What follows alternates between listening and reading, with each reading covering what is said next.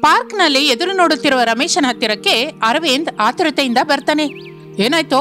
Phone ಮಾಡಿ ಇದ್ದಕ್ಕಿದ್ದಾಗಿ ಪಾರ್ಕಿಗೆ ಬಾ. ಮಾತಾಡೋದಿದೆ ಅಂತ ಹೇಳಿದೆ. ಅಷ್ಟು ಅರ್ಜೆಂಟ್ ಆಗಿ ಮಾತಾಡೋದೇನಿದೆ? ನೀನು ಕೋಪ ಮಾಡ್ಕೋಬೇಡ್ವೋ? ಮೊದಲು ನಾನು ಹೇಳೋದನ್ನ ಕೇಳು. ಆಫೀಸಲ್ಲಿ ಕೆಲಸ ಮಾಡ್ಕೋತಾ ಇದ್ರೆ ಫೋನ್ ಮೇಲೆ ಫೋನ್ ಮಾಡಿ ಸಾಯಿಸ್ತಾ ಇದೆಯಾ? ಅದೇನೋ ಬೇಗ ಹೇಳು. ಇಲ್ಲ ಸಲದ ಬಿಲ್ಡಪ್ ಕೊಟ್ಟು ಆ ರಿಚ್ ಅನಾಮಿಗಳನ್ನ ಬಲೆನಲ್ಲಿ ಬೀಳ್ಸೋ ಪ್ರೋಗ್ರಾಮ್ ಅಲ್ಲಿ ಇದ್ದೀನಲ್ಲೋ ನಾನು? ಈಗ ನಾನು ರಿಚ್ ಅನಾಮಿಕ ಹತ್ರ ಹೋಗಿ, ಅಮ್ಮ, ತಾಯಿ, ನಮ್ಮವನು ರಿಚ್ ಅಲ್ಲ, ಭಿಕ್ಷುಕ, ಬಡವ ಅಂತ ಹೇಳಬೇಕಾ? ಅದಲ್ವೋ, ನಾನು ಹೇಳೋದು ಕೇಳು. ಓಹೋ, ಇದ್ದದ್ದು ಇದ್ದ ಹಾಗೆ ಹೇಳಬಾರ್ದಾ? ಆದ್ರೆ ಈಗ ನೋಡು, ಮೂವತ್ತು ವರ್ಷವಾದರೂ ಇನ್ನು ಅಪ್ಪ ಅಮ್ಮನ ದುಡಿಮೆಯ ಫಲ ತಿನ್ನುತ್ತಾ? ಇಲ್ಲ ಸಲದ ದೊಡ್ಡತನಗಳನ್ನೆಲ್ಲ ಸುಳ್ಳು ಹೇಳ್ತಾ ನಿನ್ನನ್ನು ಮೋಸ ಮಾಡ್ತಾ ಇದ್ದಾನೆ ಅಂತ ಹೇಳ? ನೀನು ಸ್ನೇಹಿತ ಅಲ್ವೋ, ಶತ್ರು? ರಿಚ್ ಅನಾಮಿಕಾ ನನ್ನ ಬಲೆಗೆ ಬಿದ್ದಿದ್ದಾಳೆ ಅಂತ ನಿನಗೆ ಹೊಟ್ಟೆ ಕಿಚ್ಚುಕಣೋ ನನ್ನನ್ನು ಬಾ ಅಂತ ಹೇಳಿದ ರೀಸನ್ ಏನೋ? ಅದು ಮೊದಲು ಹೇಳು. ಹೊರಗಡೆ ಆಫೀಸಲ್ಲಿ ಮೀಟಿಂಗ್ ಇದೆ. ನಾನು ಮತ್ತೆ ಹೋಗ್ಬೇಕು. ನಿನ್ ಕಾರಿನ ಕೊಟ್ಟು ಎಲ್ಲಿಗಾದ್ರೂ ಹೋಗು. ಎಂದು ಹೇಳುತ್ತಲೇ ಅರವಿಂದ್ ಏನು ಮಾತನಾಡದೆ ಕಾರಿನ ಕೀ ಕೊಟ್ಟು ಅಲ್ಲಿಂದ ಹೊರಟು ಹೋಗುತ್ತಾನೆ. ಹೊಲದಲ್ಲಿ ಪ್ರಸಾದ್ ಕೆಲಸ ಮಾಡ್ತಾ ಇರ್ತಾನೆ. ಶಾರದಾ ಹೊಲದ ಬದಿಯಲ್ಲಿರುವ ಮರದ ಹತ್ತಿರಕ್ಕೆ ಬರ್ತಾಳೆ. ಏನಯ್ಯ, ಅನ್ನ ತಗೊಂಡ್ಬಂದಿದ್ದೀನಿ. ತಿಂದ್ಬಿಟ್ಟು ಕೆಲಸ ಮಾಡುವಂತೆ ಬಾ. ಬರ್ತಾ ಇದ್ದೀನಿ ಶಾರದಾ, ಎಂದು ಹೇಳಿ ಮರದ ಹತ್ತಿರಕ್ಕೆ ಬರುತ್ತಾನೆ ಪ್ರಸಾದ್. ನೀನು ತಿಂದೆ ಶಾರದಾ? ತಿಂದೆ ರೀ. ಮಗ ತಿಂದು ಕೆಲಸ ಮಾಡೋದಕ್ಕೆ ಹೋಗಿದ್ದಾನಾ? ಅಬ್ಬ, ತಿಂದು ಹೋಗಿದ್ದೇನ ರೀ. ಮೊದಲು ನೀವು ತಿನ್ನಿ ಎಂದು ಹೇಳುತ್ತಿರುವಾಗ ಕೃಷ್ಣ ಮಲ್ಟಿಪ್ಲೆಕ್ಸ್ ಹತ್ತಿರ ರಿಚ್ ಅನಾಮಿಕಾ, ರಿಚ್ ಅಂತ ಹೇಳಿಕೊಳ್ಳುವ ರಮೇಶ್ ಇಬ್ಬರು ಮಾತನಾಡ್ಕೊಳ್ತಾ ಇರ್ತಾರೆ. ನಾನು ನಮ್ಮ ಡ್ಯಾಡಿ ಹತ್ರ ನಮ್ಮ ಪ್ರೇಮದ ಬಗ್ಗೆ ಹೇಳಿದ್ದೀನಿ. ಅವರು ನಿಮ್ಮ ಮನೆಗೆ ಬಂದು ನಿಮ್ಮ ಮಮ್ಮಿ ಡ್ಯಾಡಿ ಜೊತೆ ಮಾತಾಡ್ತೀನಿ ಅಂದಿದ್ದಾರೆ. ನಿಮ್ಮ ಮನೆ ಅಡ್ರೆಸ್ ಎಲ್ಲಿದೆಯಾ ಹೇಳು? ಎಂದು ಅನ್ನುತ್ತಲೇ ರಮೇಶ್ಗೆ ಏನು ಹೇಳಬೇಕೋ ಅರ್ಥವಾಗುವುದಿಲ್ಲ. ಅಯೋಮಯದಿಂದ ಸುತ್ತಲೂ ನೋಡ್ತಾ ಇರ್ತಾನೆ. ಆಗ ತನ್ನಲ್ಲಿ ತಾನು ಈಗ ನಾನು ಯಾವ ಮನೆ ಅಡ್ರೆಸ್ ಹೇಳಬೇಕು? ಯಾರದ್ದು ಹೇಳಬೇಕು? ಏನು ಅಂತ ಹೇಳಿದ್ರೆ ಸರಿ ಹೋಗುತ್ತೆ ಅಂತ ಈಗ ಹೇಳಿ ತಪ್ಪಿಸ್ಕೊಂಡ್ರೆ? ಅನಾಮಿಕಳ ಅಪ್ಪ ಅದೇ, ನಮ್ಮ ರಿಚ್ ಮಾವನವ್ರು ಅಲ್ಲಿಗೆ ಹೋಗ್ತಾರೆ. ಅಲ್ಲಿ ನಾವು ಇರ್ತಾ ಇಲ್ಲ ಅಂತ ತಿಳ್ಕೊತಾರೆ. ಆಗ ನಾನು ಒಬ್ಬ ಮೋಸಗಾರ ಅಂತ ತಿಳಿದು ಹೋಗುತ್ತೆ. ನಾನು ಅಂದುಕೊಂಡ ರಿಚ್ ಲೈಫು ಮಿಸ್ ಆಗುತ್ತೆ. ಈಗ ಹೇಗೆ? ಎಂದು ಅಂದುಕೊಳ್ಳುತ್ತಿರುವಾಗ ಅನಾಮಿಕಾ ಸೆಲ್ ಫೋನ್ ರಿಂಗ್ ಆಗುತ್ತದೆ. ಅನಾಮಿಕಾ ಫೋನಲ್ಲಿ ಮಾತಾಡ್ತಾ ಅಲ್ಲಿಂದ ಹೊರಟು ಹೋಗುತ್ತಾಳೆ. ರಮೇಶ್ ಉಸಿರೆಳೆದುಕೊಳ್ಳುತ್ತಾನೆ. ತಡ ಮಾಡದೆ ಸೆಲ್ ಫೋನ್ ತೆಗೆದುಕೊಂಡು ಅರವಿಂದ್ಗೆ ಕಾಲ್ ಮಾಡ್ತಾನೆ. ಅರವಿಂದ್ ತನ್ನ ಗರ್ಲ್ ಫ್ರೆಂಡ್ ಜೊತೆ ಇರುವಾಗ ಫೋನಲ್ಲಿ ಮಾತಾಡ್ತಾನೆ. ರೇ, ನಾನು ಬಹಳ ಬ್ಯುಸಿಯಾಗಿದ್ದೀನಿ ಕಣೋ. ನನ್ನನ್ನು ಡಿಸ್ಟರ್ಬ್ ಮಾಡಬೇಡ ಎಂದು ಫೋನ್ ಇಡುತ್ತಾನೆ. ರಮೇಶನಿಗೆ ಏನು ಮಾಡುವುದು ಅರ್ಥವಾಗುವುದಿಲ್ಲ. ಆಲೋಚನೆ ಮಾಡ್ತಾ ಇದ್ರೆ ಅನಾಮಿಕ ಅವನ ಹತ್ತಿರಕ್ಕೆ ಬರ್ತಾಳೆ. ರಮೇಶನ್ಗೆ ಒಂದು ಐಡಿಯಾ ಬರುತ್ತೆ. ನಾನು ನಿನಗೆ ಆ ವಿಷಯನೇ ಹೇಗೆ ಹೇಳಬೇಕು ಅಂತ ಆಲೋಚನೆ ಮಾಡ್ತಾ ಇದ್ದೀನಿ ಅನಾಮಿಕಾ. ಈಗ ಈ ಮಾತು ಹೇಳಿದ ಹಾಗೆ ಆ ವಿಷಯ ಕೂಡ ಬಾಯಿಂದ ಹೇಳು. ಮೊದಲು ನಾವು ಮದುವೆ ಮಾಡ್ಕೊಳ್ಳೋಣ ಅನಾಮಿಕಾ. ನಾವು ನಿನಗಿಂತ ತುಂಬ ರಿಚ್ ಅನಾಮಿಕಾ. ನಾವು ಮದುವೆ ಮಾಡಿಕೊಂಡು ನಮ್ಮ ಮನೆಗೆ ಹೋದರೆ ಆಗ ಏನು ಅನ್ನಲ್ಲ. ಮನೆಯಲ್ಲಿ ಒಪ್ಕೋತಾರೆ ಎಂದು ಹೇಳುತ್ತಲೇ ರಿಚ್ ಅನಾಮಿಕಾ ಆಲೋಚನೆಯಲ್ಲಿ ಬೀಳ್ತಾಳೆ. ಇಬ್ಬರು ಸೇರಿ ಗುಡಿಯಲ್ಲಿ ಮದುವೆ ಮಾಡ್ಕೋತಾರೆ. ಆಗಲೇ ಗುಡಿ ಹತ್ತಿರಕ್ಕೆ ಶಾರದಾ ಪ್ರಸಾದರು ಬೆಳೆ ಚೆನ್ನಾಗಿ ಬರಬೇಕು ಅಂತ ದೇವತೆಯನ್ನು ಬೇಡಿಕೊಳ್ಳೋದಕ್ಕೆ ಬರ್ತಾರೆ. ಅಲ್ಲಿ ರಮೇಶ್ ಮದುವೆ ಮಾಡಿಕೊಳ್ಳುತ್ತಾ ಇರುವುದನ್ನು ನೋಡಿ ಬೈಯುತ್ತಾರೆ. ಮಗನೇ, ಏನೋ ಇದು? ಮದುವೆ ಮಾಡ್ಕೊಂಡ್ರೆ ಮಾಡ್ಕೋ ಹೊರತು. ನಮ್ಮ ಅಂತಸ್ತಿಗೆ ಸರಿಯಾಗಿ ಮಾಡ್ಕೊಂಡಿದ್ರೆ ಚೆನ್ನಾಗಿರೋದು. ಆ ಹುಡುಗಿ ನೋಡ್ತಾ ಇದ್ರೆ ದುಡ್ಡಿರುವ ಹುಡುಗಿ ಆಗಿದ್ದಾಳೆ ನಮ್ಮಂತಹ ಬಡವರ ಮನೆಯಲ್ಲಿ ಸಂಸಾರ ಮಾಡ್ತಾಳಾ? ಎಂದು ಅನ್ನುತ್ತಿರುವ ಪ್ರಸಾದನ ಬಟ್ಟೆಯನ್ನು ನೋಡಿ ಆ ಮಾತನ್ನು ಕೇಳಿ ಅನಾಮಿಕಳಿಗೆ ರಮೇಶನ ಮೇಲೆ ಅನುಮಾನ ಬರುತ್ತೆ. ಗಟ್ಟಿಯಾಗಿ ಕೋಪದಿಂದ ಬೈಯುತ್ತಾಳೆ ಸಾರಿ ಅನಾಮಿಕಾ, ನಾನು ಬಹಳ ಬಡವನು. ರಿಚ್ ಆಗಿ ಬದುಕಬೇಕು ಅಂತ, ನಿನ್ನನ್ನು ಹೇಗಾದರೂ ಮದುವೆ ಮಾಡ್ಕೋಬೇಕು ಅಂತ ಇಲ್ಲ ಸಲದ ಸುಳ್ಳುಗಳನ್ನೆಲ್ಲ ಹೇಳಿದೆ ಎಂದು ಹೇಳುತ್ತಲೇ ಅನಾಮಿಕಾ ರಮೇಶನ ಕೆನ್ನೆಯ ಮೇಲೆ ಗಟ್ಟಿಯಾಗಿ ಹೊಡೆಯುತ್ತಾಳೆ. ಅನಾಮಿಕಾ, ನೀನು ಹೊಡಿ ಅಥವಾ ಬಡಿ, ನಾನು ನಿನ್ನ ಜೊತೆಗೇನೆ ಇರ್ತೀನಿ, ನೀನು ಎಲ್ಲಿದ್ರು ಅಲ್ಲೇ ಇರ್ತೀನಿ. ಮಗು ರಮೇಶು, ನೀನು ಸೊಸೆ ಜೊತೆ ಅಂದ್ರೆ ಏನೋ ಮಗನೇ? ಅಮ್ಮ, ನಿನ್ ಸೊಸೆ ಮಾಮೂಲಿ ಸೊಸೆ ಅಲ್ಲಮ್ಮ, ರಿಚ್ ಸೊಸೆ. ನನಗೆ ರಿಚ್ ಲೈಫ್ ಬೇಕು. ನಿನ್ ಹಾಗೆ ಮಣ್ಣಿನ ಕೆಲಸ ಮಾಡ್ಕೊಂಡು ನಾನು ಇರಲಾರೆ. ಅದಲ್ಲ ಮಗನೇ, ನಾನು ಹೇಳೋದು ಕೇಳು. ಅಪ್ಪ, ಈಗ ನೀವೇನು ಹೇಳಿದ್ರು ನಾನು ಕೇಳಲ್ಲ. ನಿಮ್ಮ ಜೊತೆ ಆ ಮಣ್ಣಿನ ಮನೆಗೆ ಬರಲ್ಲ. ನೀವು ಇಲ್ಲಿಂದ ಹೊರಟು ಹೋಗಿ ಎಂದು ಹೇಳುತ್ತಲೇ ಶಾರದಾ ಪ್ರಸಾದರು ಕಣ್ಣೀರು ಹಾಕಿಕೊಳ್ಳುತ್ತಾರೆ. ರಿಚ್ ಸೊಸೆ ಅನಾಮಿಕಳಿಗೆ ಆ ಕಣ್ಣೀರನ್ನು ನೋಡುತ್ತಲೇ ಅವರ ಮೇಲೆ ಪಾಪವೆನಿಸುತ್ತೆ. ಅಭಿಮಾನ ಬರುತ್ತೆ. ಅವರನ್ನು ನೋಡುತ್ತಾ, ದುಃಖ ಪಡಬೇಡಿ ಆಂಟಿ, ನಿಮಗೆ ನಿಮ್ಮ ಮಗನನ್ನು ಯಾವಾಗ ನೋಡಬೇಕು ಅಂದರೆ ಆವಾಗ ನಮ್ಮ ಮನೆಗೆ ಬಂದುಬಿಡಿ ಹಾಗೆ ನಿಮಗೇನು ಬೇಕು ಅಂದರೂ ನನ್ನನ್ನು ಕೇಳಿ. ಸಂಕೋಚ ಪಡಬೇಡಿ. ಹಾಗೆ ತಾಯಿ ಎಂದು ಹೇಳುತ್ತಲೇ ಅನಾಮಿಕಾ ರಮೇಶ್ನನ್ನು ಕರೆದುಕೊಂಡು ತನ್ನ ಮನೆಗೆ ಹೊರಟು ಹೋಗುತ್ತಾಳೆ. ತನ್ನ ಮನೆಯಲ್ಲಿ ಕೆಲಸದವನನ್ನು ಮಾಡಿ ಪಕ್ಕದಲ್ಲೇ ನಿಂತುಕೊಂಡು ಮನೆ ಒರೆಸುತ್ತಾಳೆ. ಅಡಿಗೆಯವನನ್ನಾಗಿ ಮಾಡಿ ಪಕ್ಕದಲ್ಲೇ ನಿಂತು ಅಡಿಗೆ ಮಾಡಿಸುತ್ತಾಳೆ. ರಮೇಶ್ನನ್ನು ತೋಟದ ಮಾಲಿಯನ್ನಾಗಿ ಮಾಡಿ ಹೂ ಗಿಡಗಳಿಗೆ ನೀರು ಹಾಕಿಸುತ್ತಾಳೆ. ಹೀಗೆ ರಿಚ್ ಲೈಫ್ ಎಂಜಾಯ್ ಮಾಡಬೇಕು ಅಂತ ಎಷ್ಟೋ ಆಸೆಯಿಂದ ಬಂದ ರಮೇಶನಿಗೆ ನಿರಾಸೆ ಎದುರಾಗುತ್ತೆ. ತಿನ್ನೋದಕ್ಕೆ ಡೈನಿಂಗ್ ಟೇಬಲ್ ಹತ್ತಿರಕ್ಕೆ ಬಂದು ಹೋಗ್ಲಿ ಬಿಡು. ರಿಚ್ ಲೈಫ್ ಎಂಜಾಯ್ ಮಾಡಲಾರದೆ ಹೋದ್ರು ಎಲ್ಲ ತರಹದ ಫುಡ್ಡನ್ನು ತಿನ್ಬಹುದು ಎಂದು ಅಂದುಕೊಂಡು ಖಾಲಿ ಪಾತ್ರೆಯನ್ನು ನೋಡಿ ನೀರು ಕುಡಿದು ಬೆಡ್ರೂಮ್ ಒಳಗೆ ಹೋಗ್ತಾನೆ. ಬೆಡ್ ಮೇಲಲ್ಲ, ಕೆಳಗೆ ಮಲ್ಕೋ. ಇನ್ನೊಂದು ವಿಷಯ, ನಾಳೆ ನನ್ನ ಫ್ರೆಂಡ್ಸ್ ಬರ್ತಾ ಇದ್ದಾರೆ ಅವ್ರಿಗೆ ಏನು ಬೇಕೋ ಅದು ತಿಳಿದುಕೊಂಡು ಎಲ್ಲ ಸರಿಯಾಗಿ ಹಾಕುವ ಹಾಗೆ ಏರ್ಪಾಡು ಮಾಡಬೇಕು. ಇಲ್ಲ ಅಂದರೆ ಮನೆಯಿಂದ ಹೊರಗಟ್ತೀನಿ ಎಂದು ಹೇಳಿದ್ದರಿಂದ ರಮೇಶ್ ದುಃಖದಿಂದ ಕೆಳಗೆ ಮಲ್ಕೋತಾನೆ. ಬೆಳಗಾಗುತ್ತದೆ ರಿಚ್ ಅನಾಮಿಕಳ ಫ್ರೆಂಡ್ಸ್ ಮಾಲಿನಿ, ಪ್ರವಳಿಕಾ, ಕೋಮಲಿ ಬರುತ್ತಾರೆ. ಅವರು ಸೋಫಾದಲ್ಲಿ ಕೂತ್ಕೊಂಡು ತಮಾಷೆಗೆ ಮಾತನಾಡಿಕೊಳ್ತಾ ಇರ್ತಾರೆ. ಏನೇ, ಎಲ್ಲೇ ನಿನ್ನ ಬಡಗಂಡ? ಈಗ ತೋರಿಸ್ತೀನಿ. ರಾಮ್ ನನ್ನ ಫ್ರೆಂಡ್ಸ್ಗೆ ಜ್ಯೂಸ್ ತಗೊಂಡ್ ಬಾ ಎಂದು ಹೇಳುತ್ತಲೇ ಕೆಲಸದವನ ಗೆಟಪ್ನಲ್ಲಿರುವ ರಮೇಶು ಜ್ಯೂಸ್ ಇರುವ ಬಾಟಲ್ಗಳನ್ನು, ಗ್ಲಾಸುಗಳನ್ನು ತೆಗೆದುಕೊಂಡು ಅವರ ಹತ್ತಿರಕ್ಕೆ ಬರ್ತಾನೆ. ಜ್ಯೂಸ್ ಸುರಿದು ಅವರಿಗೆ ಕೊಡುತ್ತಾನೆ.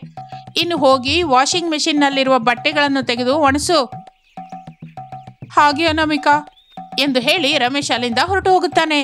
ಅನಾಮಿಕಾ ಸ್ವಲ್ಪ ಹೊತ್ತು ತನ್ನ ಫ್ರೆಂಡ್ಸ್ ಜೊತೆ ಮಾತನಾಡಿಕೊಂಡು ನಗ್ತ ನಂತರ ಫ್ರೆಂಡ್ಸ್ ಹೊರಟು ಹೋಗುತ್ತಾರೆ.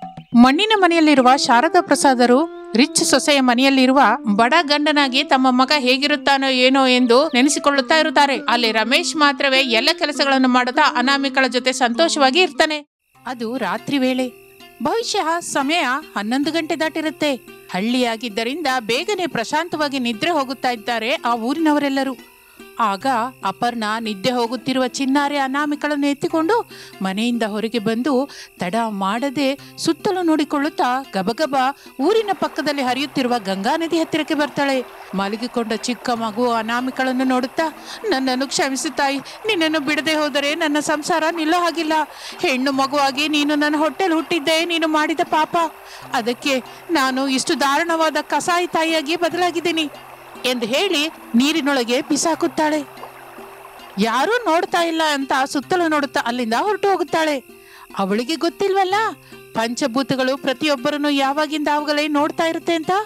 ಗಂಗಾ ನದಿಯಲ್ಲಿ ಬಿದ್ದ ಚಿಕ್ಕ ಮಗು ಅನಾಮಿಕಳನ್ನು ಆ ಗಂಗಮ್ಮ ತಾಯಿ ಮಡಿಲಲ್ಲಿ ಎತ್ತಿಕೊಂಡು ಹಾಗೆ ನೀರಿನಲ್ಲೇ ಮುಂದಕ್ಕೆ ಸಾಗುತ್ತಾ, ಆಹಾ, ಈ ಚಿಕ್ಕ ಮಗು ಎಷ್ಟು ಮುದ್ದಾಗಿದೆಯೋ! ಯಾವ ಕಲ್ಮಶವೂ ಇಲ್ಲದ ಈ ಹಸು ಮಗುವನ್ನು ನದಿಯಲ್ಲಿ ಬಿಸಾಕೋದಕ್ಕೆ ಆ ತಾಯಿಗೆ ಮನಸ್ಸಾದ್ರೂ ಹೇಗೆ ಬಂತೋ? ಈಗ ಈ ಚಿಕ್ಕ ಮಗುವನ್ನು ಯಾರಿಗೆ ಕೊಡಬೇಕು ಎಂದು ಅಂದುಕೊಳ್ಳುತ್ತಾ ನೀರಿನ ಮೇಲೆ ಮುಂದಕ್ಕೆ ಹೋಗುತ್ತಾ ಇರುತ್ತಾಳೆ. ಬೆಳಗಾಗುತ್ತಿರುವಾಗ ಒಂದು ಊರಿನಲ್ಲಿ ನದಿ ದಡದಲ್ಲಿ ನಿಂತಿರುವ ಸುಜಾತ ಅನ್ನುವ ಒಬ್ಬ ಒಳ್ಳೆಯ ಗೃಹಿಣಿ ನಮಸ್ಕರಿಸುತ್ತಾ, ಗಂಗಮ್ಮ ತಾಯಿ, ಇವತ್ತಿಗೆ ನೂರ ಎಂಟು ಸ್ನಾನ ಮುಗಿಸಿದ್ದೇನೆ. ಇನ್ನಾದರೂ ಕರುಣಿಸಿ ನನಗೆ ಮಾತೃತ್ವವನ್ನು ಕರುಣಿಸಮ್ಮ ಎಂದು ಬೇಡಿಕೊಳ್ಳುತ್ತಿರುವ ಭಕ್ತೆ ಕಾಣಿಸುತ್ತಾಳೆ ಗಂಗಮ್ಮ ತಾಯಿಗೆ. ಗಂಗಮ್ಮ ತಾಯಿ ಸುಜಾತಳ ಹತ್ತಿರ ಬರುತ್ತಾಳೆ. ಸುಜಾತ, ತಗೋ, ನಿನ್ನ ನೂರ ಎಂಟು ಸ್ನಾನದ ಪುಣ್ಯಫಲ ತೆಗೆದುಕೋ ಎನ್ನುತ್ತಾ ಚಿನ್ನಾರಿ ಅನಾಮಿಕಳನ್ನು ಕೊಡುತ್ತಾಳೆ. ಸುಜಾತ ಸಂತೋಷ ಪಡುತ್ತಾ ಮಗುವನ್ನು ಇಟ್ಟುಕೊಂಡು ಮಹಾಪ್ರಸಾದವೆಂದು ಸಂಭ್ರಮಿಸುತ್ತಾ ಆ ತಾಯಿಗೆ ನಮಸ್ಕರಿಸುತ್ತಾಳೆ. ಇಲ್ಲಿ ನೋಡು ತಾಯಿ, ಇನ್ನು ಮೇಲಿಂದ ಚಿನ್ನಾರಿಗೆ ನೀರಿನ ಗಂಡವಿಲ್ಲದ ಹಾಗೆ ಎಂತಹ ನೀರಿನ ಪ್ರಮಾದವಾದರೂ ತಾನು ನಡೆದುಕೊಂಡು ಹೋಗುವ ಒಂದು ಮಾಯಾಶಕ್ತಿಯನ್ನು ಕರುಣಿಸ್ತಾ ಇದ್ದೀನಿ. ಜಾಗೃತಿಯಾಗಿ ಬೆಳೆಸ್ಕೋ ತಾಯಿ. ನನ್ನ ಪ್ರಾಣದ ಹಾಗೆ ನೋಡ್ಕೋತೀನಿ ತಾಯಿ. ವಿಜಯೋಸ್ತು, ನೀನೇ ಒಂದು ಹೆಸರಿಡು ತಾಯಿ. ಈ ಚಿನ್ನಾರಿಯ ಹೆಸರು ಅನಾಮಿಕಾ. ಅನಾಮಿಕಾ ಅಂತ ಕರೆಯಿರಿ ಎಂದು ಹೇಳಿ ಗಂಗಮ್ಮ ಮಾಯವಾಗುತ್ತಾಳೆ. ಸುಜಾತ ಸಂತೋಷದಿಂದ ಕಣ್ಣು ತೆಗೆದ ಚಿಕ್ಕ ಅನಾಮಿಕಳನ್ನು ಎತ್ತಿಕೊಂಡು ಸಾಗುತ್ತಾಳೆ.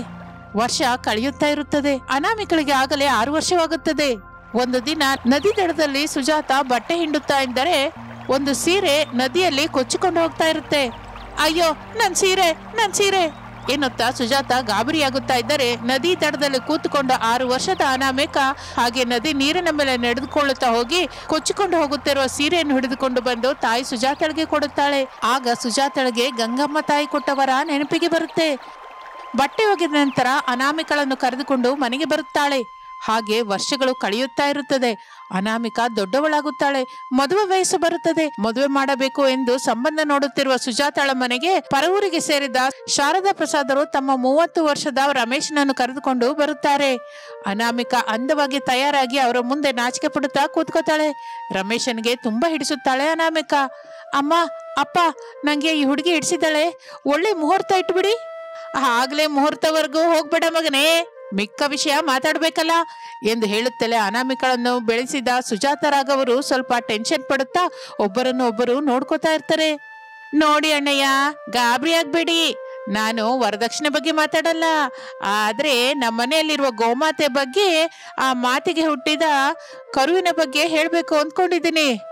ಗೋಮಾತೆ ಎಂದರೆ ಹಸುವೆ ಅಲ್ವೇನಮ್ಮ? ಹೌದು ಭಾವನವ್ರೆ, ನಾವು ಹಸುವನ್ನು ಹಸು ಅಂತ ಕರೆಯೋದಿಲ್ಲ, ಗೋಮಾತೆ ಅಂತ ಕರಿತೀವಿ. ನಾವು ಆ ಹಸುವನ್ನು ಹೆತ್ತ ಮಗಳ ಹಾಗೆ ನೋಡ್ಕೋತಾ ಇದ್ದೀವಿ. ನಮ್ಮ ಮನೆಗೆ ಬಂದ ಸೊಸೆ ಕೂಡ ಹಾಗೆ ನೋಡ್ಕೋಬೇಕು ಅಂತ ಕೋರ್ಕೋತಾ ಇದ್ದೀವಿ ಎಂದು ಹೇಳುತ್ತಲೇ ಅನಾಮಿಕ ಸಂತೋಷ ಪಡುತ್ತಾ ಅವರ ಮಾತಿನ ಮಧ್ಯೆ ಸೇರ್ಕೊಂಡು ಹೀಗಂತಾಳೆ, ಅತ್ತೆ, ಮಾವಯ್ಯ, ನೀವು ದುಃಖ ಪಡಬೇಡಿ ಹಾಗೆ ಭಯಪಡಬೇಡಿ. ನನಗ್ ಕೂಡ ಗೋಮಾತೆ ಅಂದ್ರೆ ಬಹಳ ಇಷ್ಟ.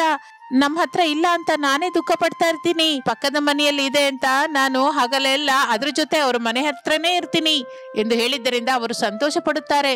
ಒಳ್ಳೆ ದಿನವನ್ನು ನೋಡಿಕೊಂಡು ಅವರಿಗೆ ಇದ್ದುದರಲ್ಲಿ ಮನೆ ಹತ್ತಿರ ಅನಾಮಿಕಳಿಗೆ ಮದುವೆ ಚಪ್ಪರ ಹಾಕಿ ಅನಾಮಿಕ ರಮೇಶರಿಗೆ ಸಂತೋಷದಿಂದ ಮದುವೆ ಮಾಡುತ್ತಾರೆ.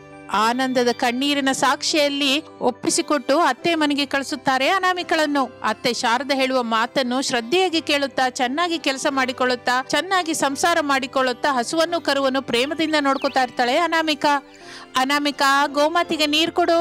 ನಾನು ಹೊಲದ ಹತ್ರ ಹೋಗಿ ಬಂದು ಹಸಿರು ಹುಲ್ಲನ್ನು ತಗೊಂಡ್ಬರ್ತೀನಿ ಅತ್ತೆ, ಹೀಗೆ ದಿನವೆಲ್ಲ ಗೋಮಾತೆನ ಕಟ್ಟಿರೋದು ಏನು ಚೆನ್ನಾಗಿರಲ್ಲ. ಬೆಳಿಗಿನ ಹೊತ್ತು ಹಾಗೆ ಹೊಲದ ಹತ್ರ ಕರ್ಕೊಂಡು ಹೋದ್ರೆ ಚೆನ್ನಾಗಿರುತ್ತೆ ಅತ್ತೆ. ಹಸು ಕೂಡ ತಿರುಗುತ್ತಾ ಇರುತ್ತೆ. ತನ್ನ ಜೊತೆ ಹಸುಗಳನ್ನು ನೋಡಿ ಸಂತೋಷ ಪಡುತ್ತೆ ಎಂದು ಅನಾಮಿಕ ಹೇಳುತ್ತಲೇ ಹಸು ಆಗಲೇ ಹೌದು ಅನ್ನುವ ಹಾಗೆ ಅರಚುತ್ತದೆ. ಆ ಅರಚಾಟವನ್ನು ಅತ್ತೆ ಸೊಸೆಯರಿಬ್ಬರು ಅರ್ಥ ಮಾಡ್ಕೋತಾರೆ. ಹಾಗೆ ಸೊಸೆ, ನೀನು ಕೂಡ ಬಾ ಹಾಗೆ ನಮ್ಮ ಹೊಲವನ್ನ ನೋಡಬಹುದು ಸರಿ ಅತ್ತೆ ಎಂದು ಅತ್ತೆ ಸೊಸೆಯರು ಹಸುವನ್ನು ಕರುವನ್ನು ಕರೆದುಕೊಂಡು ಮನೆಯಿಂದ ಹೊರಡುತ್ತಾರೆ. ಮಣ್ಣಿನ ದಾರಿಯುದ್ದಕ್ಕೂ ನಡೆಯುತ್ತಾ ಮಾತನಾಡಿಕೊಂಡು ಹೊಲದ ಹತ್ತಿರಕ್ಕೆ ಬರುತ್ತಾರೆ. ಹಸು ಕರುವಿನ ಜೊತೆ ಒಂದು ಕಡೆ ಹಸಿರಿನ ಹುಲ್ಲನ್ನು ಮೇಯುತ್ತಾ ಇರುತ್ತದೆ. ಶಾರದಾ ಬೋರ್ ಪಂಪ್ ಹತ್ತಿರ ನಿಂತುಕೊಂಡು ತನ್ನ ಹೊಲವನ್ನು ನೋಡುತ್ತಾ ಇರುವಾಗ ಯಾದಗಿರಿಯ ಕೊಟ್ಟಿಗೆಯಲ್ಲಿರುವ ಒಂದು ಪೊಗರುಭೂತ ಎಮ್ಮೆ ಒಂದು ಶಾರದಳನ್ನು ನೋಡುತ್ತದೆ. ಗಟ್ಟಿಯಾಗಿ ಅರಚುತ್ತಾ ಕಟ್ಟಿದ ಹಗ್ಗವನ್ನು ಬಿಚ್ಚಿಕೊಂಡು ಶಾರದಳ ಇರುವ ಕಡೆಗೆ ವೇಗವಾಗಿ ಓಡ್ತಾ ಬರುತ್ತೆ. ಹಸಿ ಹುಲ್ಲನ್ನು ಮೇಯುತ್ತಿರುವ ಹಸು ಅರಚುತ್ತಾ ಶಾರದಳ ಕಡೆಗೆ ಗುಟ್ರು ಹಾಕಿಕೊಂಡು ಬರುತ್ತಿರುವ ಎಮ್ಮೆಯನ್ನು ನೋಡುತ್ತದೆ. ವಿಷಯ ಅರ್ಥವಾಗುತ್ತದೆ. ತಕ್ಷಣ ಹಸು ಮತ್ತಷ್ಟು ವೇಗವಾಗಿ ಓಡಿ ಹೋಗಿ ಎಮ್ಮೆಗೆ ಅಡ್ಡವಾಗಿ ನಿಲ್ಲುತ್ತದೆ. ಎಮ್ಮೆಯ ಏಟನ್ನು ತಡೆಯಲಾರದೆ ಹಸು ಪಕ್ಕದಲ್ಲಿ ಹರಿಯುತ್ತಿರುವ ನದಿಯಲ್ಲಿ ಬಿದ್ದು ಕೊಚ್ಕೊಂಡು ಹೋಗ್ತಾ ಇರುತ್ತೆ. ಅದು ನೋಡಿದ ಶಾರದಾ ಗಾಬರಿ ಆಗುತ್ತಾಳೆ. ಅಯ್ಯೋ ಅಯ್ಯೋ ಯಾರಾದರೂ ನನ್ನ ಹಸುನ ಕಾಪಾಡಿ.